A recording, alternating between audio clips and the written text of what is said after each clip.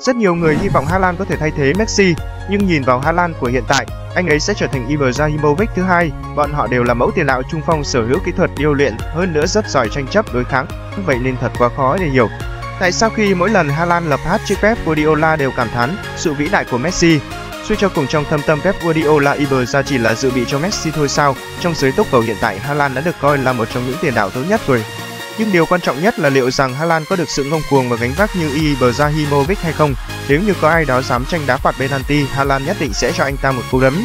Đó chính là những lời bình luận của Pep Guardiola khi Haaland mới gia nhập Man City.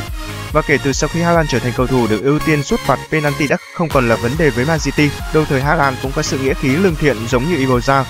Ibra vì muốn lên tiếng bảo vệ những người kém may mắn mà tình nguyện nhận thẻ phạt cởi áo để lộ ra 50 cái tên của những người tị nạn. Khi các cầu thủ Man City ném chiếc áo đấu về phía nhân viên quản lý một cách đầy thô bạo, chỉ riêng mình Haaland là âm thầm gấp chiếc áo gọn gàng và nhẹ nhàng đưa tới tận tay cho nhân viên quản lý. Liệu rằng một Haaland như thế có thể lãnh đạo đội tuyển Na Uy giành được tấm vé tham dự kỳ World Cup lần sau hay không?